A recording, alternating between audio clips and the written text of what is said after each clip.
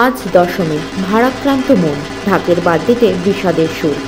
মা উমার বিদায় বেলায় মালদার শরৎপল্লীতে শরৎপল্লী সার্বজনীন দুর্গোৎসব কমিটির মহিলারা মাতলেন সিঁদুর খেলায়। মহিলা পরিচালিত পুজো কমিটির সদস্য নিবেদিতা কুণ্ডু জানান, মাকে বিদায় বেলায় এলাকার সমস্ত মহিলারা এই দিন একসঙ্গে মাকে বরণ করেন এবং সিঁদুর খেলায় মেতে ওঠেন।